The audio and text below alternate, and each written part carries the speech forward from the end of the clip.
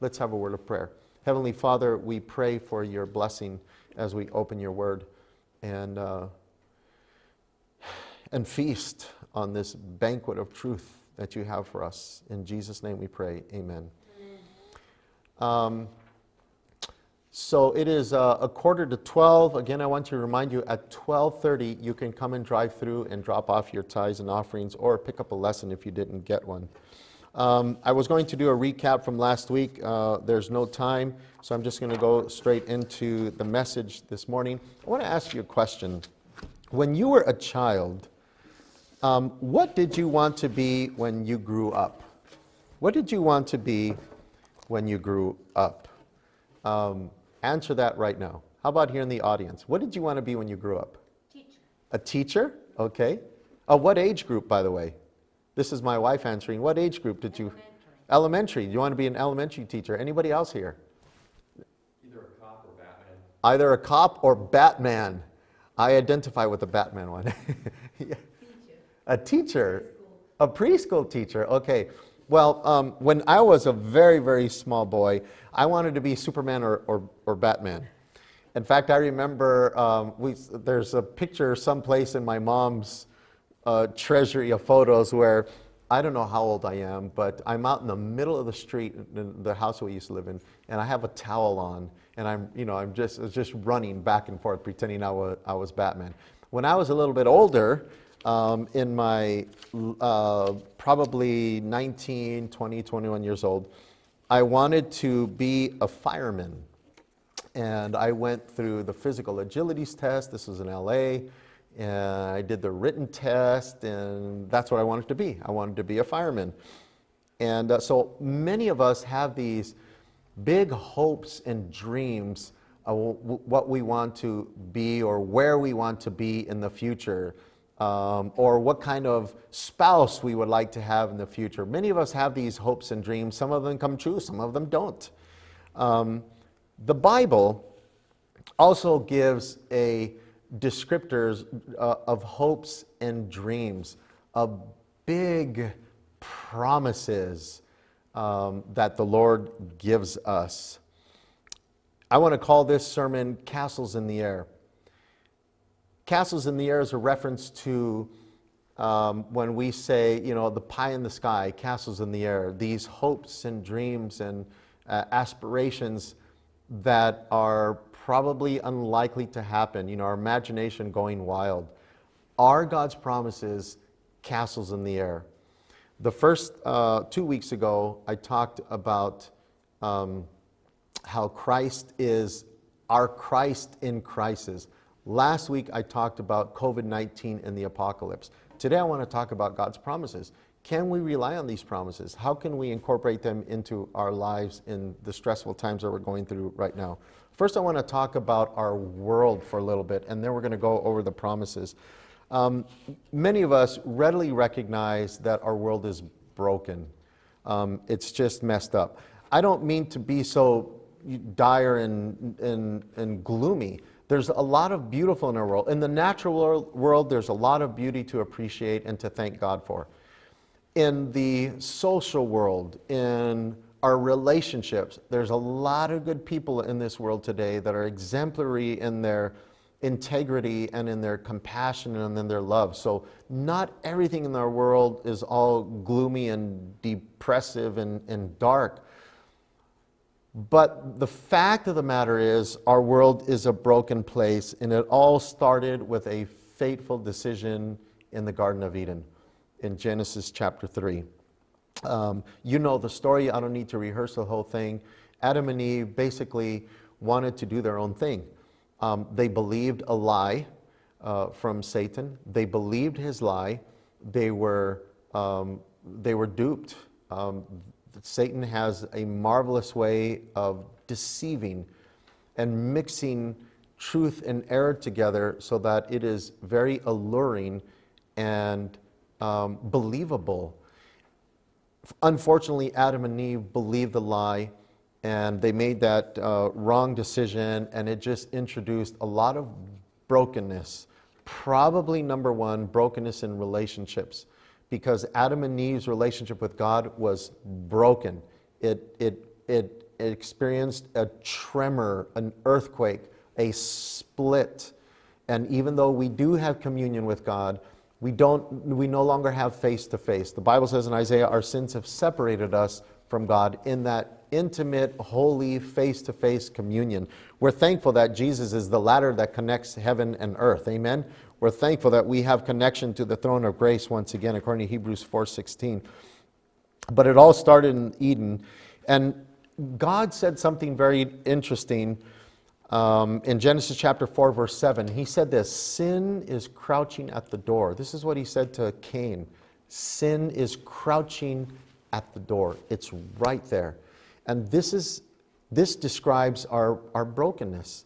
There's always something there to entice us that is attractive and appealing. There's always something there, and that something is diametrically opposed to God's will and His ways, His loving will and His wise ways. And that sin crouching in the door. That comes from God's own, own lips.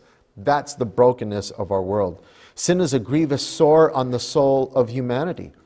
Our world is a long, long history of mankind's quest for establishing a utopia on earth for pleasure, for self fulfillment, for gratification, all without the confines of God watching over your shoulder.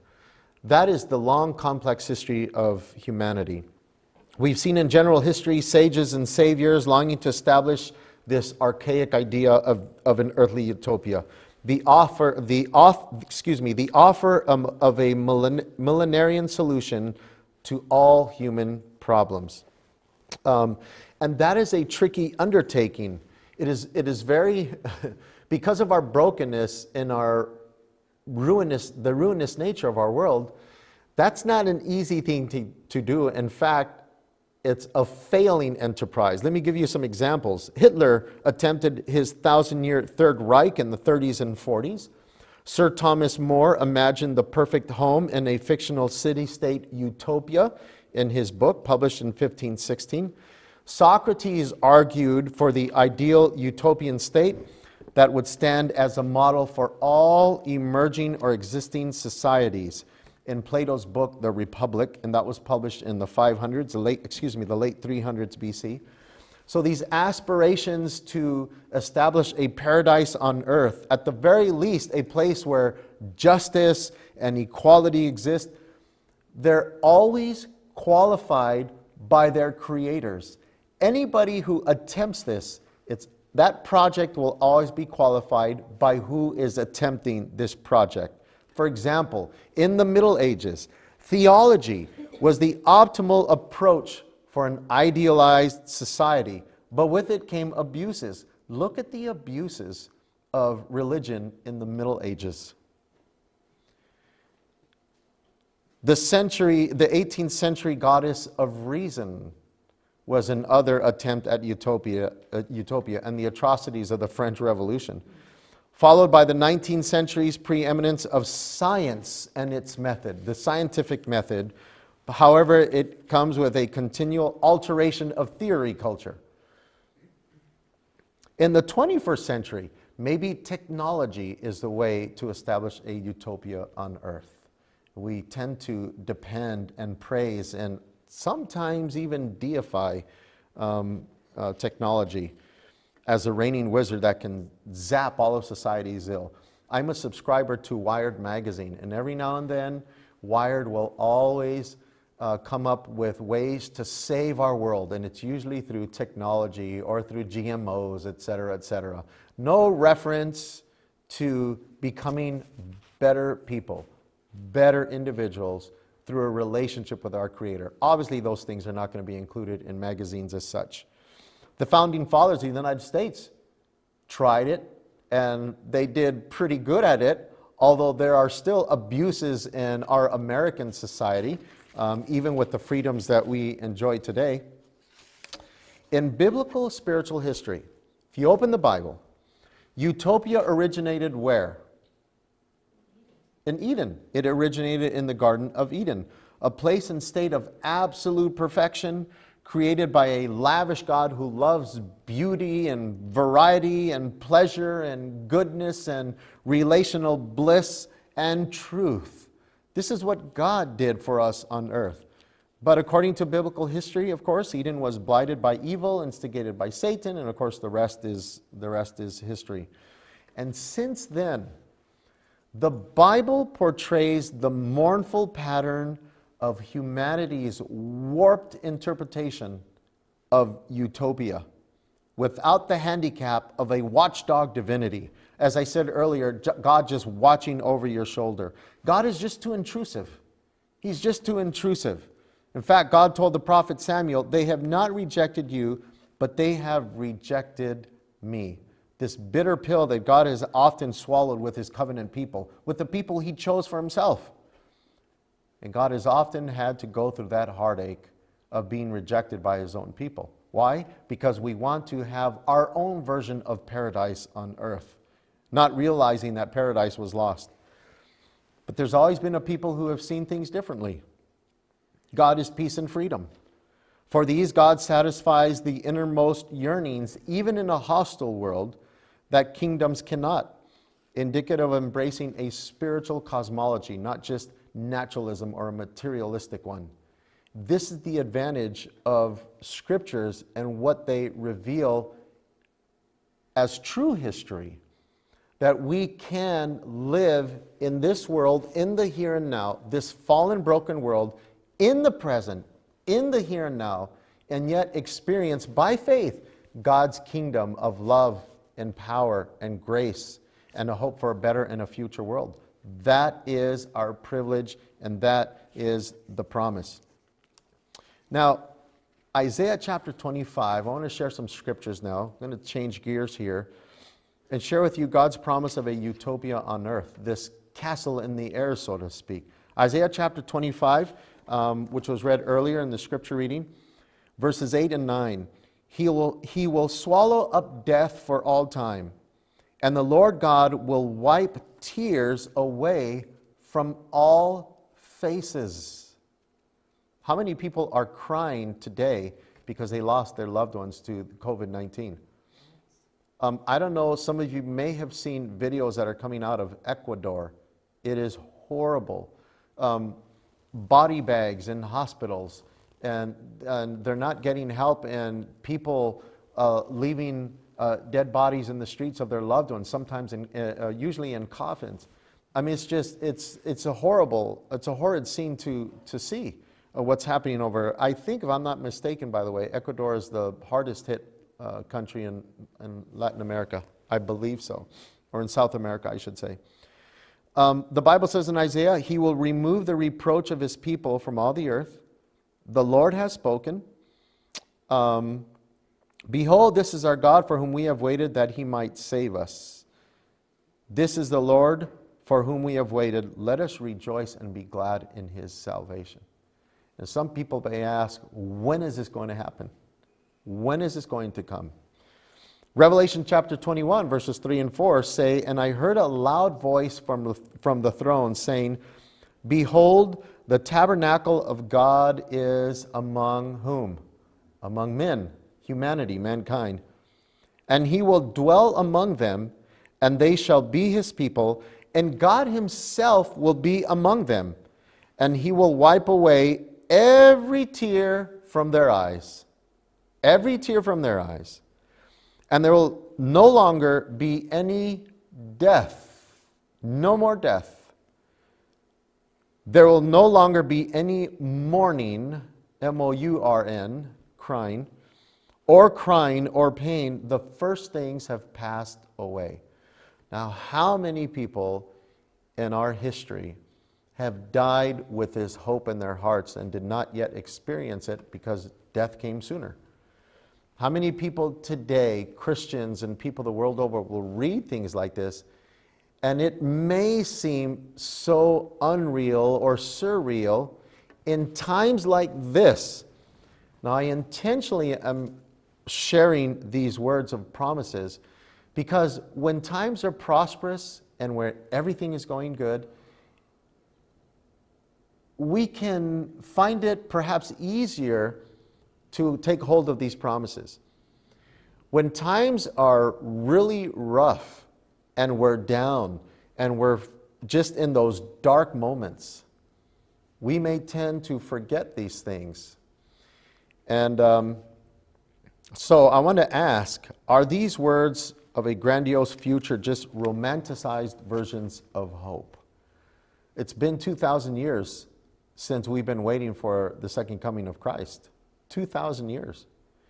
In the days of the apostles, they felt by, if you read First, uh, First Thessalonians chapter 4, you get some hints that they felt that the second coming of Christ would come in their days.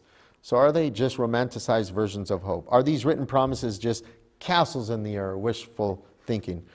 Um, let me share a couple of promises with you that have come true in Scripture. The first one that I can think of is the Messiah. In Genesis chapter 3, verse 15, way in the beginning when paradise was lost, when Adam and Eve made that horrible decision that just, uh, the reverberations of that decision are continuing today. The doom and the sadness and the pain and the heartache of that one decision continues till today. And in that context, in the Garden of Eden, when they were still in the garden and they hadn't been kicked out yet, while they were still there, God gives them a promise of hope for the future in Genesis 3:15. He is promising the Messiah even then. And we all know that the Messiah did come.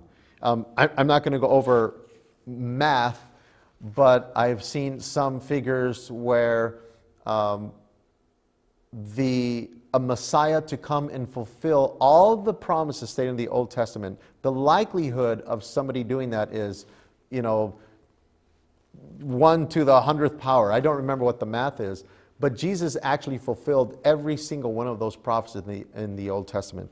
Um, that is a prophecy come true. This one is really interesting. In Isaiah chapter 44 and verse 28, it says, It is I who says of Cyrus, He is my shepherd, and he will perform all my desire. And he declares of Jerusalem, She will be built, and of the temple, your foundation will be laid. This was said about 100 years before King Cyrus. King Cyrus was an actual figure in real history. God, through the prophet um, uh, Isaiah, had prophesied that this king will come. And in fact, some more says, Isaiah chapter 45, verse 1 Thus says the Lord to Cyrus his anointed, whom I have taken by the right hand, to subdue nations before him, and to loose the loins of kings, to open doors before him, so that the gates will not be shut, etc. Here's a prophecy that came true. And then you think of Daniel chapter 2, prophecy or promises that came true. You think of Daniel chapter 2 and God predicting the rise and fall of nations. There are many, many promises like this that if we read in Scripture, it backs it up by history that these promises were fulfilled or prophecies. Um, dire circumstances and trials and troubles have the potential of overriding memories of prosperity and happiness. And I was just thinking about this the other day. I was telling my wife, what if in a month or two, things are really bad. Let's just say, for example, 3 million people have died from this pandemic. Um, things have just come to a stop. Things are coming to a stop, as we know, these lockdowns in cities and nations. And if it gets worse, which according to the sources, things will get worse before they get better you know, there's, the curve is still going up. But let's just say in the next couple of months, things are so bad that millions of people are dying, and it's just really, really, really bad. Let's say rioting takes place and people breaking into markets, etc., um, stealing supplies and food, etc., and murders are taking place. I know I'm painting a bleak picture, but let's say this happens. For the sake of my, let's say this happens. What can happen, very well happen to our psyches, is that we forget the good times and the positive times and the prosperous times that we had before. In fact, if you drive through Phoenix or through LA or through Las Vegas or through New York, you've seen the pictures on, on the news networks. The streets are empty. The streets are empty. No and no smog. And no smog. If this continues and gets worse, we may have to say, oh, yeah, I remember how I used to go through traffic and it was bumper to bumper. That's right, I totally forgot about all of that smog. I forgot about this. really, really hard times tend to play tricks on your memory and you forget how things were before. And that's a danger. Part of the problem is that we forget to remember. We think we will remember a great experience forever, but don't factor in the distractions of everyday life, which render that fond memory harder and harder and harder to access. So let me share with you something from Stephanie Tully. She's a, an assistant professor of marketing at USC Marshall. And this is what she says. Um, they conducted some experiments on this forgetfulness and remembering. They found that participant, participants who thought about a future experience, thinking about taking a fantastic trip to Europe, for example, they found that participants who thought about a future experience predicted they would think about and talk about that experience. They predicted that more often than other participants who actually reported having done for a past experience. In other words, if we think of good times in the future, those experiences will disappear during the bad times, and we tend to remember the bad, which leads me to my second point. Bad and hurtful experiences seem to riv rivet themselves more deeply in our minds. And why is that? We remember a terrible accident more than we do a pleasant experience. Um, for those who are cynical and pessimistic by nature, this is even more so. So, if I were to tell you a story of a little boy who buys a dear little puppy at the store, and he was just so happy, and he cuddled that puppy and he watched it grow, and they were best of friends. That's one story. If I tell you the story of I saw a terrible accident outside and there was a 50 car pileup and it came out in the news and there were bodies strewn and sirens etc and it was horrible and i ran to there and i tried to help people and i got some blood on my hands which story are you going to remember more people tend to remember the bad things more um, eric g wilson who wrote everyone loves a good train wreck why we can't look away this is what he says about our humanness. He says this, and I find this very, very interesting. Thus began the awkward split, one that most of us suffer, between socially acceptable facades and interior strangeness. I know this is sort of heavy wording, so I'm going to read it slow. The exterior is a useful mask necessary for survival and success. Many of us wear masks, is what he's saying. Those lacking such an appearance are misanthropes, losers, or lunatics. But we all understand those, those times that we are honest, late on an insomniac night, the limits of this veil of our mask that we wear. The engrossing action is inside, where our appetites run rampant, lust for power and erotic pleasure, fantasies of failure and sometimes death. So, what he's saying in this quote is what I just said is sometimes we tend to focus and remember the evil more. What he is saying is a take on our tendency to put on these masks and wear them and I would say really not deal with the darkness that is, that is inside. And so this is a description of our humanity, of our brokenness in our world today.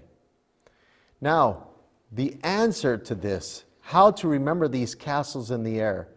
I just, for the last 10 minutes, I'm talking about darkness and gloom and our brokenness and suffering and pain and pandemics. And I'm being actually very depressing. I have been for the last few minutes, but that's intentional. The reason why I say this is because you and I need to intentionally and purposefully remember the good. Remember the promises of God. Remember these castles in the air. God has promised, He will fulfill. There are promises in Scripture that He has fulfilled, and He will meet His promises that He makes of a new world, of strengthening us in the present, of giving us abundant life in the here and now, and of course, an eternal life in the future. This is how God operates. No manner, no degree, no level of hurt or pain or suffering, as the Bible says, can separate us from God. The tricky thing in all of this is that we can forget to count our blessings and forget to concentrate and focus on, even in the trials, the reasons why we can be thankful. We need to intentionally remember. I want to share a passage with you in the Bible, and this is in Deuteronomy chapter 6. How to remember those promises, how to remember those castles in the air.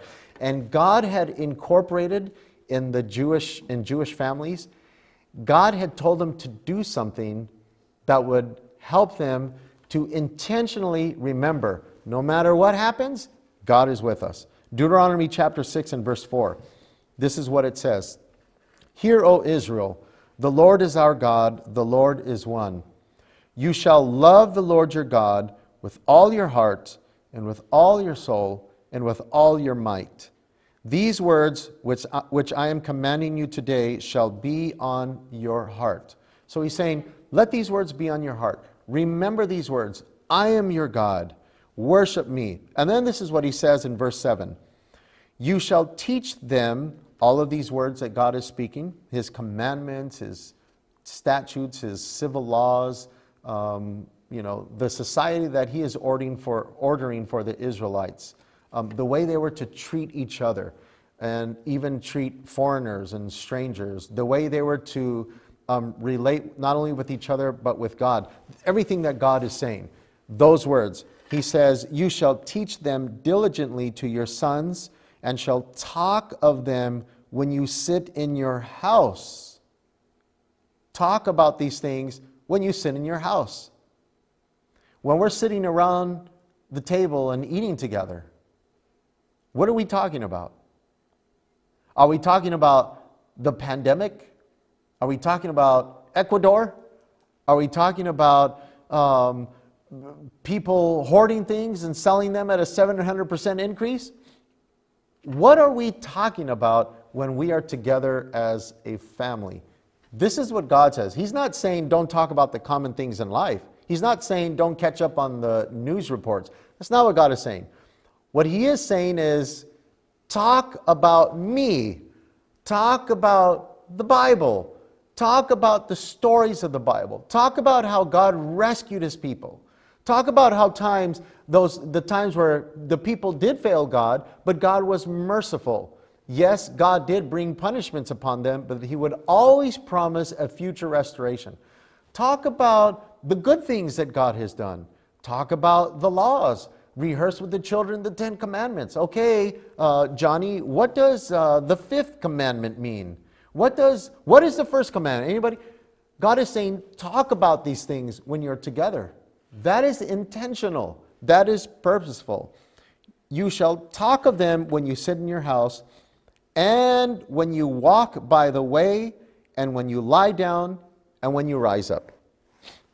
This is what God is saying. Remembering me and what I stand for, and who I am, and what I have for you, and the plans that I have for you, my intentions and purposes for you as my people. I want you to talk about and remember these things on a daily basis. Daily. Why do you think God said in the seventh commandment, remember the Sabbath day to keep it holy? Why would he use that word, remember? Because we're forgetful beings. And here God is giving a familial law and a very strong tip this is the way you're not going to forget me. Talk about it every day. When you get up in the morning, he says, talk about it. At the breakfast table, do your devotions. We do our devotions. We pray. At night when we lie down. I remember when my son was about that high uh, five, four, five, six, seven years old. And if my son is watching, he's going to remember this. Um, we had um, a set of books in, on our bookcase at home, 10 volumes of the, uh, what were the, the Maxwell books, the Bible stories, those blue volumes. And I would take those volumes, and boy, he just looked forward to these times. I'd sit on the edge of his bed, I'd open the book, and he'd be covered with his blankets. I'd tuck him, and I'd tell him, I'd tell him a, a, bedtime story from those books. Of course, I would dramatize it, and I would, you know, I'd use the voices, uh, you know, Goliath, but he really, really enjoyed them. And after he was in a different stage in his, in his youth, we got him cassettes. Maybe when he was 9, 10, 11, 12 years old, we got him cassettes. And he would listen to those cassettes at night and Bible stories every night. Every night. To this day, I promise you, he does not forget those stories. He can tell you those stories to this day. So I want to encourage, especially fathers, especially the dads. I know one particular dad who's hardly home because he's a truck driver and he travels from state to state. So obviously that's an exception. There are exceptions. But fathers, if you have young children and you're at home at night, I want you to tell them bedtime stories. Um, they're going to love it. They will love you for it. It is the best way to instill God's words and what He is saying here in young children, the bedtime stories. And then, of course, pray together. The Bible says in Deuteronomy 6, Verse 8 You shall bind them, his words, his commandments, as a, as a sign on your hand, and they shall be as frontals on your forehead. You shall write them on the doorposts of your house and on your gates. Now, this is Deuteronomy chapter 6. After Deuteronomy, Deuteronomy is the last book of the Pentateuch. You know who is saying this? This is God saying this through Moses. Moses is saying these things to the people because they're just about to go into the promised land. They're just about to go in after 40 years of wandering in the wilderness. And Moses saying, okay, and he gets out his book and say, okay, I got to remind you guys of these things. These are very important. Perk up your ears because this is very, very important. Moses said this to them in their day when they were going into Canaan and they were going to encounter opposing views, worldviews, and philosophies and religions and practices. And he was saying, You've got to do this. How much more for us today? How much more for us today that we need to practice these things? This is how to remember those promises of God, these quote unquote castles, castles in the air. They are real promises. Rehearse them every day. Rehearse them in your mind, in your heart. Read your Bible. Remember those promises memorize scripture, have family devotions together in the evenings, have bedtime stories, talk about these things. This is the way that we can be bolstered and buoyed and strengthened in times and stressful times like this. And remember that God is good, He is with us, and He will pull through for us and ultimately fulfill His promises of a new world where there's not going to be any of these things at all. We've Amen. got to remember these things, but we have to intentionally remember them. They're not going to come automatically into our minds. Let's pray. Heavenly Father, we thank you so much for your great promises of Scripture. We thank you, God, that you are with us that we don't need to be discouraged or dismayed or depressed because your strong right arm will uphold us isaiah 41:10 we know jesus that we can do all things because you give us strength. We know lord jesus that you hear our prayers you hear our supplications and that you have not abandoned us. You promised us lord that you will be with us until the very end. So we thank you lord jesus so much for all of these promises.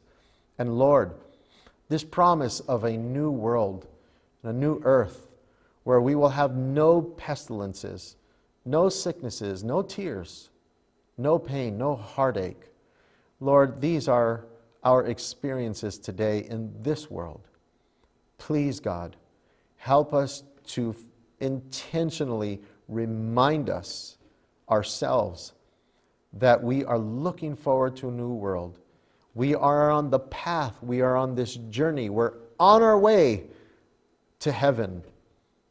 And Lord, we thank you for that promise. Help us, God, to be practical in our reminding ourselves of your great and precious promises.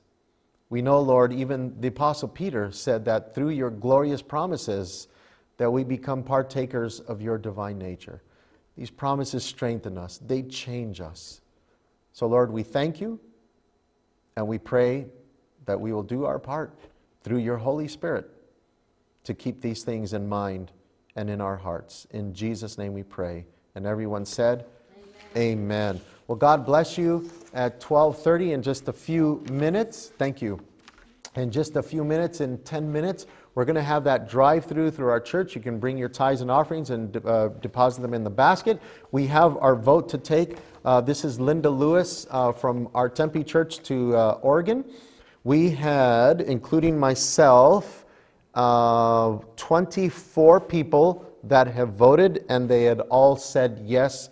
And so we thank you for um, calling in or texting and giving your vote. May the Lord bless you and have a great Sabbath.